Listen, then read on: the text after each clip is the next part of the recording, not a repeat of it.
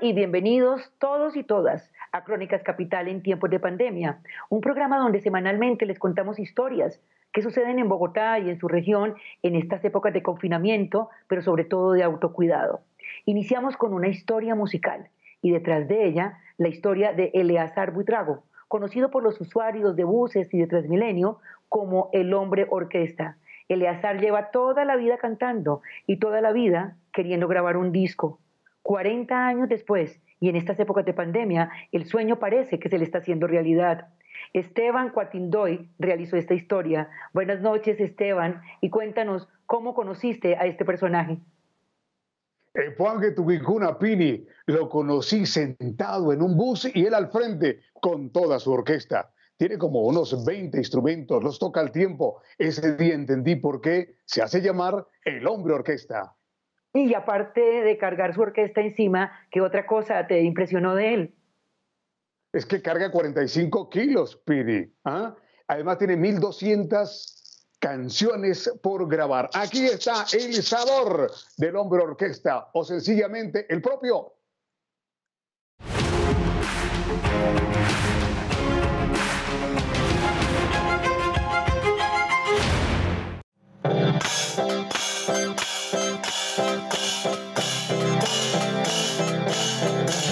de la pandemia sigo siendo el hombre orquesta o el señor orquesta, mejor como le dicen, y también me dicen la costa del propio.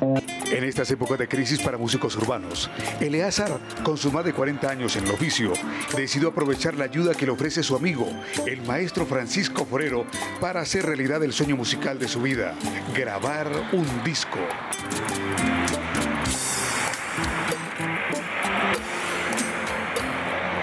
Muchas gracias, Pachito, por darme esta oportunidad. Es la oportunidad que siempre anhelé tener, grabar mis canciones. Es lo más lindo que le puede suceder a uno, realizar sus sueños.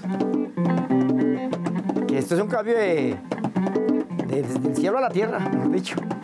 Y, del cielo a la tierra y la tierra en pandemia. Con, con es peor.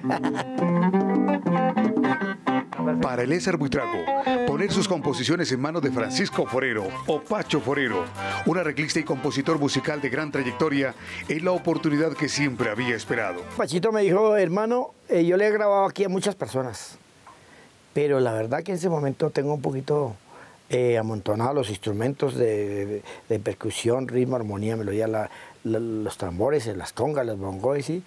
Eh, ayúdeme a organizar un poquito y, limpiamos un poquito esto y, le acomodemos las cosas y, empezamos a camellarle a sus canciones a ver.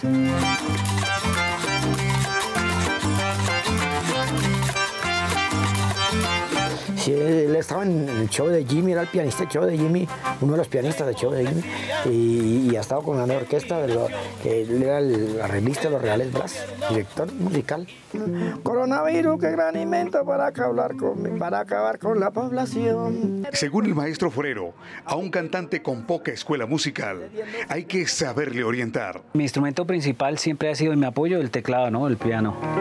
En este caso aquí tenemos un secuenciador de 16 canales y de acuerdo a lo que yo escuche y a la intención que él quiera, le orquestamos las obras, ¿cierto? Al apoyo del pianista y arreglista Francisco Pacho Forero, se sumaron otros dos excelentes músicos con el mismo espíritu solidario, como el maestro Hugo Torres.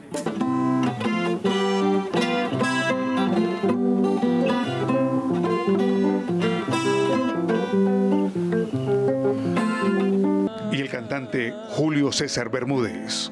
Esta es la contaminación a la cual ya no sujeta porque tiene la emisión, entre otros CO2 que calientan el planeta. Destacado en Ciudad de México por sus interpretaciones salseras, le tocó ponerle música a un proyecto ambiental que había abandonado hace más de ocho años. En época de pandemia nos vamos a reinventar. Bueno, aquí ya está el fraguado, el secado y el resultado final, ladrillos de icopor.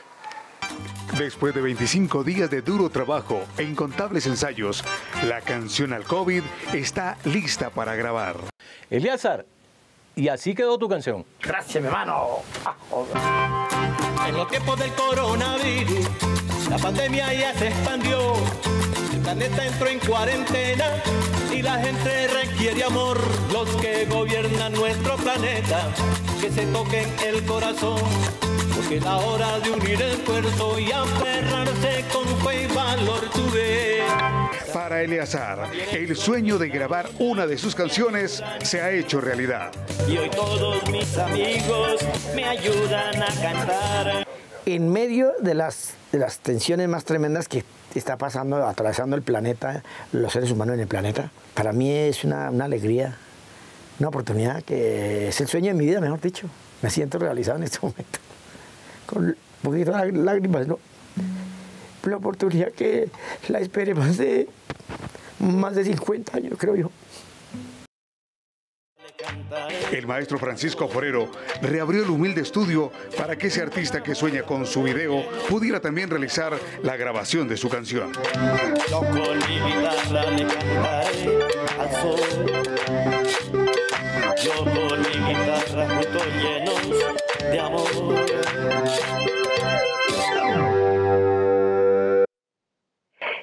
Cuando son sueños musicales, pues se celebran mejor, como las imágenes con las que sueñan un grupo de amigos, un colectivo de amigos que enamorados de la fauna bogotana se dieron a la tarea de poner cámaras trampa para capturar a esa clase de animales que en estas épocas de confinamiento humano tiene mucha más presencia animal.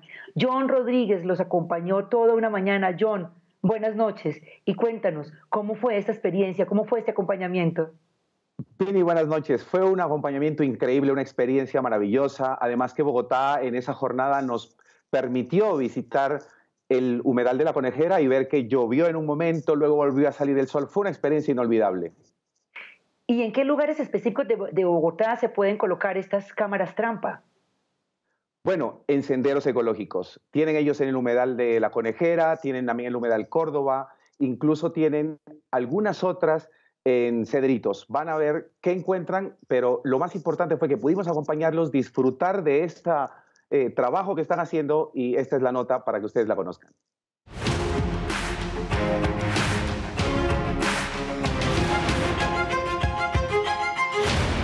Expectativa es que podamos documentar muchas de las especies que no se ven regularmente en este tipo de hábitats que están embebidos en la ciudad.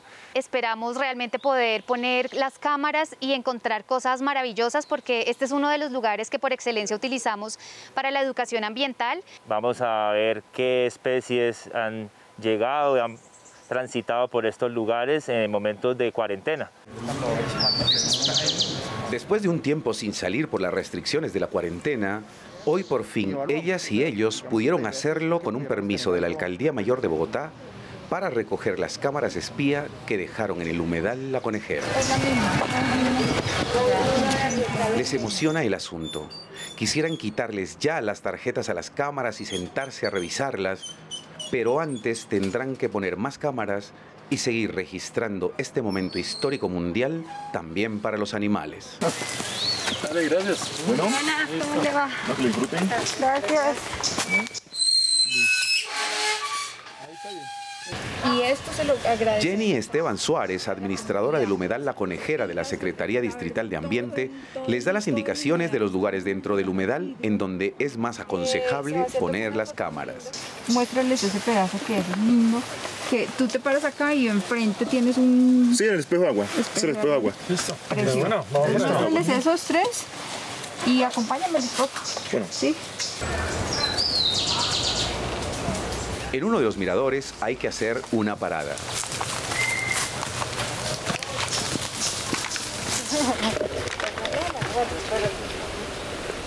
Allí ya se ven algunos habitantes ilustres de esta Bogotá que en tiempos de pandemia por fin han podido transitar sin la amenaza de los depredadores.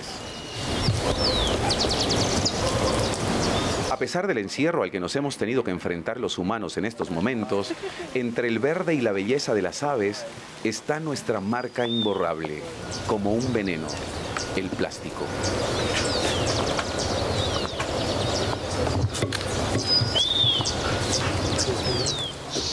Parece que ahora la madre por fin puede alimentar tranquilamente a sus crías y el vecindario completo tiene otra atmósfera.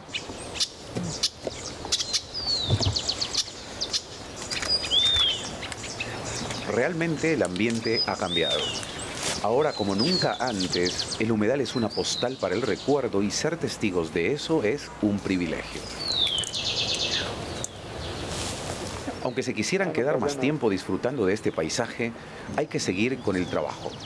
Ahora se recogerán las memorias de la cámara y se dejará instalada otra.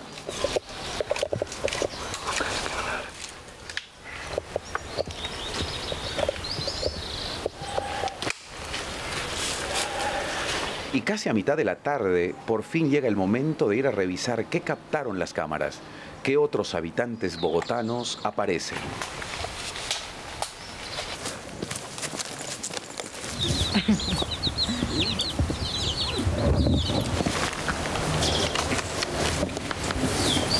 Es un zorro. ¡Súper bien! Te quedes el video. Lo máximo. Poder ver las fotos y encontrar animales súper interesantes que nunca tenemos la posibilidad de ver de- fácilmente es muy enriquecedor y, y alegra el corazón saber que los animales sí están ahí efectivamente. muy satisfactorio poder revisar las cámaras que llevamos mucho tiempo esperando y efectivamente encontramos varias especies y pues es un evento histórico poder registrar ese tipo de fauna en un momento de cuarentena y de aislamiento social que pues no se había hecho nunca y es muy importante tener esos datos. Estar acá, ver los resultados, ver fotos de la fauna, cómo está usando espacios que usualmente no utiliza, pues nos llena de esperanza y, y obviamente es emocionante para seguir trabajando en este tipo de temas. Se logró algo que nos emociona mucho, sobre todo que nos creó una expectativa muy grande con otras cámaras que tenemos puestas, con las que pusimos hoy. Por ahora fue un zorro. Después seguramente este grupo de investigadores hallará muchas otras especies que en la Bogotá confinada han recobrado un poco su libertad y con ella nos dejan claro que también merecen habitar en la capital colombiana sin miedo y sin amenazas. Como bogotanos no podemos desconocer lo que tenemos en nuestro territorio. Esos otros bogotanos que llevan más tiempo incluso que nosotros acá y que de alguna forma visibi- visibilizándolos, eh, pues logramos que la gente aprecia y, y se sienta orgullosa y se sienta empoderada de este terreno que es maravilloso, de esta tierra que es Bogotá.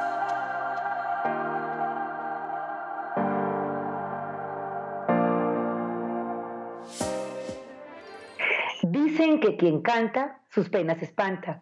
Y eso lo comprobó Juan Ricardo Pulido en la búsqueda de saber cómo le están pasando por estas épocas los artistas de la música y del canto.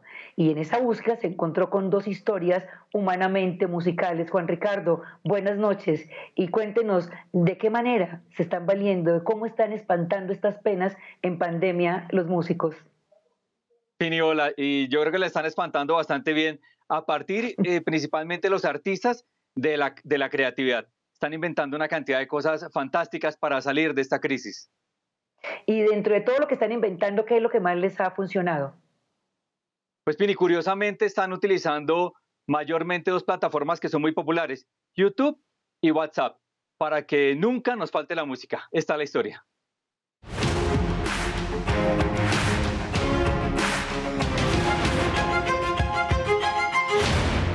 Soy feliz porque al tenerte me siento mucho más fuerte para que tu castigo razón no me lleve a la muerte. La realidad es que nosotros vivimos eh, de cantar en un bar, de cantar en un auditorio, de cantar en un restaurante. Eh, con mi hijo cuando estuvimos en, en- en Nueva York, eh, cantábamos en el tren, cantábamos en el parque. Pero el campo de acción se fue reduciendo, se fue reduciendo, hasta que el 15 de marzo mm, tomamos la decisión de, regresarnos Tuvimos lo- los 14 días de, de aislamiento preventivo obligatorio por haber llegado de uno de los países eh, calificados como en riesgo, ¿sí? Entonces, en ese periodo de tiempo, mi padre sugiere que, que hagamos algo. Son Rodrigo y Víctor Manuel Jaramillo, padre e hijo. Soy feliz porque Pero actualmente se han encontrado más como dúo consecuencias. Luego entonces empezamos a transformar como el espacio, a poner aquí o allá diferentes cosas, colocamos la silla y, y intentar plasmar un poco del conocimiento que tengo yo por el estudio y que tiene mi papá por la experiencia, en poner esto un poco atractivo e intentar hacer que fuera eh, visualmente aceptable se nos ocurrió eh, hace unos 20 días fue crear una, un canal en YouTube en el cual estamos eh, montando, subiendo un trabajo, dos temas semanales. Mm, va muy bien. Hay videos y hay canales de multitud de, de personas y contenidos que pueden durar dos, tres, cuatro, cinco meses, un año y apenas llegar a 200, 300 vistos. Eh, y eso es lo que, en lo que se convierte en nuestro video en las primeras horas. Castígame, razón, castígame Andado tantos caminos, he amado a tantas mujeres, he bebido tantos vinos y aún encuentro mi destino. Mi padre ha sido un excelente padre toda la vida y, y pues está también esto como que nos une de la música, eh, en la que por supuesto él, al ser este ser de mayor experiencia, eh, se convierte sí o sí en un maestro. Te pedimos el favor para volver a vernos muy pronto. Si no es de total rigor, no salgas, evita el riesgo. Somos mensajeros del amor. Ella es Sandra Cerrato, actriz y cantante, y como los Jaramillo, también se ha adaptado. Tuve una depresión, no me levanté de la cama y eh, cuando me di cuenta que ya los recursos se estaban extinguiendo, los ahorros. Eh, un día me levanté y dije, bueno, ya no más. Ha creado un servicio de tarjetas musicales digitales con el que sus clientes le expresan cariño a quienes más aman. Han pasado 47 años y 9 meses y todavía me sigues enseñando. Te adoro, Cecilita. Cecilita bonita. Ya casi nos vamos a poder volver a ver. Disfruta de tu serenata. Nos hemos dado cuenta de lo sencillo que es vivir, de lo hermoso que es vivir con las cosas sencillas. A pesar de las grandes dificultades que el sector cultural y artístico están pasando, ellos se valen de su enorme creatividad para asegurar que nunca nos falte la música. ¿Cómo comunicar el arte mientras el mundo va encontrando un nuevo estado de normalidad, sea cual sea? Somos mensajeros del amor y con Canal Capital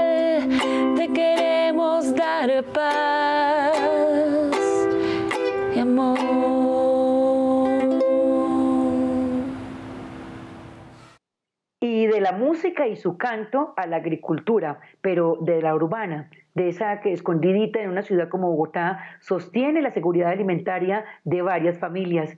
Esta historia se le encontró Oscar Bustos en el barrio La Victoria. Buenas noches, Oscar, y cuéntenos cómo subsiste en una ciudad como Bogotá una huerta urbana. Pues esta huerta urbana, Pini, subsiste gracias a la tenacidad y a la disciplina de los campesinos urbanos procedentes de tantas regiones de Colombia que viven aquí en la localidad de San Cristóbal al suroriente de Bogotá. ¿Y hace cuántos años está subsistiendo con la tenacidad de esos campesinos? Hace 12 años existe esta huerta urbana en el barrio La Victoria, fundada por la señora Evelia Castro. Eh, hace este tiempo. Ella ya falleció, pero era una líder comunitaria que hoy merecería todos los homenajes, Pini. Te invito a ver la historia a ti como a la teleaudiencia de Canal Capital.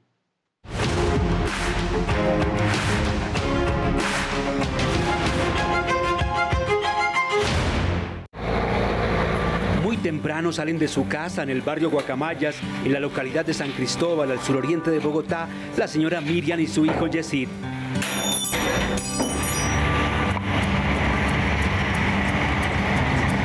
Cargando sus herramientas campesinas, con la ciudad atrás, entre senderos y atajos, atraviesan unos dos kilómetros hasta meterse en el corazón de su localidad y llegar al centro comunitario de La Victoria. Aquí los esperan, acompañados con sus herramientas, Mary, su esposo Eliesid, que también se vinieron a pie desde el barrio San Blas, y Lucila y su hijo John, quienes caminaron desde el barrio Nueva España en la parte alta de la localidad. El grupo de agricultores urbanos que aquí se da cita es más numeroso, pero los adultos mayores tuvieron que quedarse encerrados en sus casas por la cuarentena. Está la señora Rosita y el esposo que se llama Jaime, porque son personas ya de más de 70 años en los cuales en este tiempo no les permiten moverse de su espacio.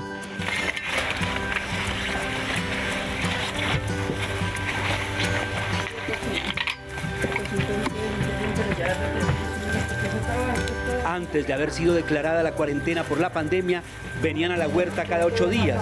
¿Hacía cuánto no venía a la huerta? Desde hace como un mes, por lo que nos la habían cerrado por debido al COVID, entonces no, no teníamos acceso.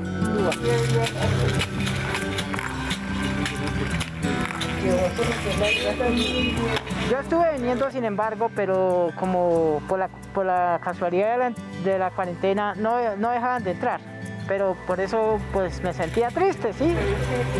John Alexander es epiléptico y dice que venir a la huerta le sienta bien. Estoy muy contento porque por lo menos de nuevo he podido venir a la huerta porque o sea, me ha, a mí me ha gustado mucho como decir el campo, ¿sí?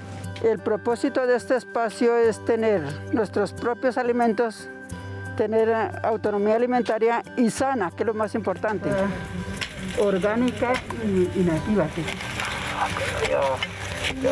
A pesar de que la huerta es pequeña, de apenas 5 por 15 metros, el esfuerzo da sus frutos y la papa nativa y los cubios se dejan ver en todo su esplendor. Cubios de, de... de ahí tenemos un sustento, por lo menos como es una comidita más. Estos agricultores urbanos, cuyas edades están entre 50 y 64 años, se sienten llenos de vida y pletóricos de salud y esto lo atribuyen al contacto con la huerta. Pero es que son el asadón. A mis 63 años me considero una persona con mucha movilidad y con muchas fuerzas todavía de, hacer las cosas y, y me siento sana.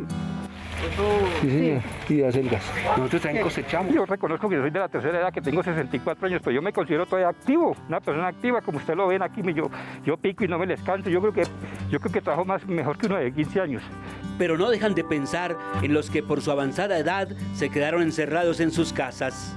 Ah, a don Pablito, a la señora Rosita, porque ellos vienen acá y son una fuente de, mucha sabiduría y aparte de eso son muy chistosos, nos traen cuentos, estamos cultivando, haciendo cualquier cosa y nos hacen reír. Para las personas de la tercera edad es como una terapia. Para ellos es venir a este espacio, para ellos es, lo mejor que les puede pasar, porque no solamente les están quitando su estrés, sino que llevan alimento. Cada vez que vienen llevan aromáticas, llevan verduras, llevan frutas, entonces eso es doble beneficio. Gatito, cojo la mujer. Eso me dicen mis hijos. Desde que mi mamá está en la huerta se, se olvida de que existe el mundo y para mí este es el mejor espacio que puedo yo tener. Luego de recoger los tubérculos y los tallos, viene la cosecha de las frutas, las moras, las curubas, los lulos y las uchuvas no se hacen de rogar para soltarse de la rama. La directora del Centro Comunitario La Victoria elogia a estos adultos mayores por su vitalidad. Personas mayores no son niños, no piensan como niños, no vuelven a ser niños, simplemente están en otra etapa de la vida. Y son personas con habilidades, eh, con muchos conocimientos que nos pueden transmitir. Después de trabajar tres horas en la huerta, viene la repartición de la cosecha, a todos por partes iguales. En La Victoria, en este pródigo rinconcito, 10 familias se nutren con los frutos de la tierra. La pandemia no podría ser más generosa. Y con música, canto, animales y agricultura urbana, hemos llegado al final de este programa. Pero nos vemos la próxima semana con más temas y con más historias de esta Bogotá y su región que aprende a vivir en pandemia. Hasta pronto y quédense en casa.